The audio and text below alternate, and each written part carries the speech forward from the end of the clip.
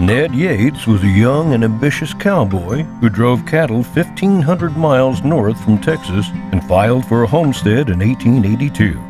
This Wyoming Centennial Ranch has been in the same family for over 140 years and is now being offered for the first time since it was originally settled by the owner's great grandfather.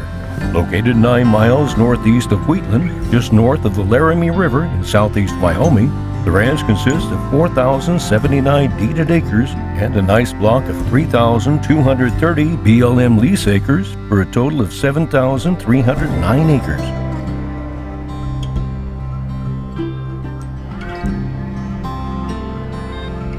The average elevation in this area is about 4,500 feet, consisting of high plains, rolling hills, deep draws, and steep canyons. The diversified topography on the ranch holds native grasses that provide good feed and cover for livestock and wildlife alike. The ranch has a three bedroom, two bath owner's home that is complemented with several well constructed and maintained outbuildings, corrals, and pens that are conveniently located at the headquarters. There's a good road and trail system that runs throughout all parts of the ranch for easy accessibility.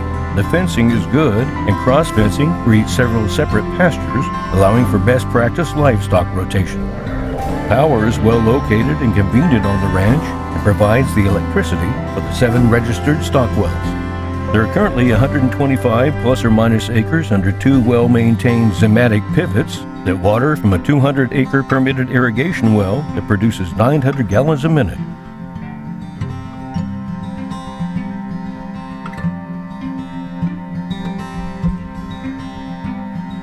The ranch borders Grayrocks Reservoir and presents an endless supply of recreational opportunities. The fishing at Grayrocks presents good opportunities for walleye, bass, crappie, and catfish, as well as the occasional tiger muskie, and there's plenty of room to boat and water ski on the reservoir as well. Six wells are on automatic timers, with one on a float system, and all have tiered holding tanks that provide good water for livestock and wildlife.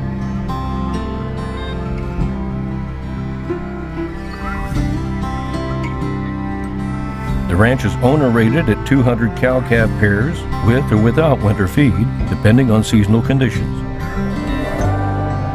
There's a good population of mule and whitetail deer, with antelope and elk also being counted in the big game categories.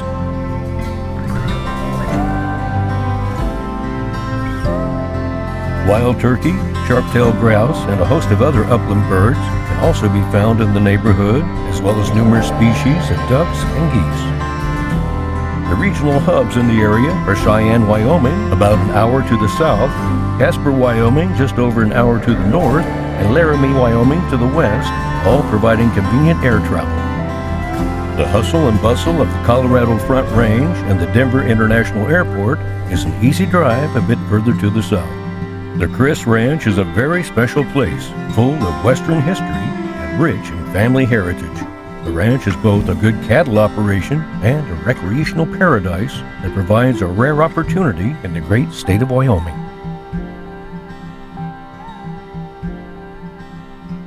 For your own private showing, please contact Matt Munford